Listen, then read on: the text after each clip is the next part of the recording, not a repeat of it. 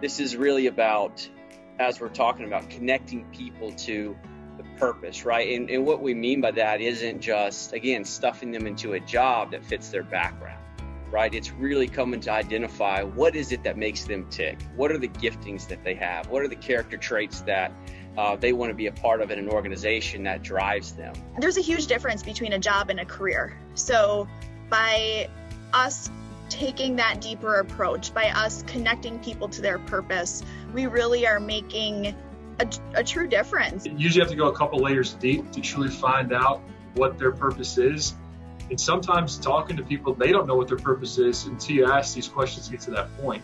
And TalentBridge goes above and beyond, not just the job description or the role that they need to fill, but what's special about this company and what type of person succeeds or doesn't succeed in this role so that they really understood that it that there were some key things that we needed at Century One, right? That was unique to what another organization might need. And I think that's what makes them very, very special. We truly understand what our what our clients want, what our candidates want, and we try to do what's in the best interest of them all. Everybody here comes into the office with that mindset. Who can, life can I impact today?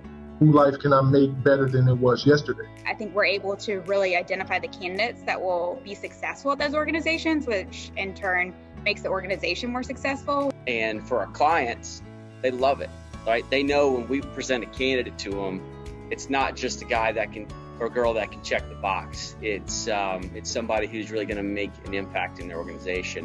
When you have turnover, when you have open roles, there's stress, there's lost sleep because you're like, gosh, I'm gonna, am I going to find you know somebody at the caliber of, of who, I, who I'm losing?